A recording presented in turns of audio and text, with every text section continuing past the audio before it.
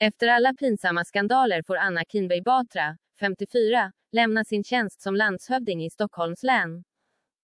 Regeringen meddelade beslutet under fredagen efter att landshövdingen fått hård kritik från justitieombudsmannen, Jo.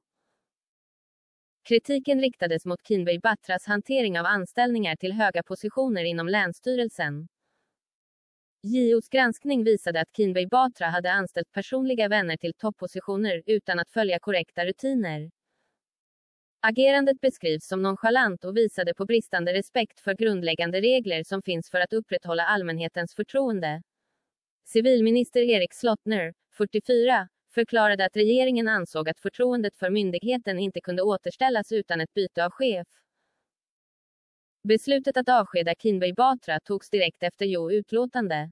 Som landshövding har Anna Kinberg Batra bott i Tessinska palatset, granne med kungaparet.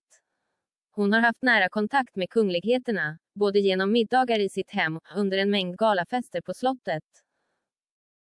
Särskilt kungen har uppskattat Anna Kinberg Batra och hennes andrafandiga humor som monarken enligt uppgift sägs tycka om.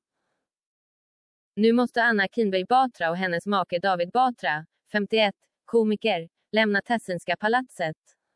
Vad hon ska syssla med i framtiden är i skrivande stund oklart. Anna Kinberg Batra var tidigare partiledare för Moderaterna. En post hon också tvingades lämna.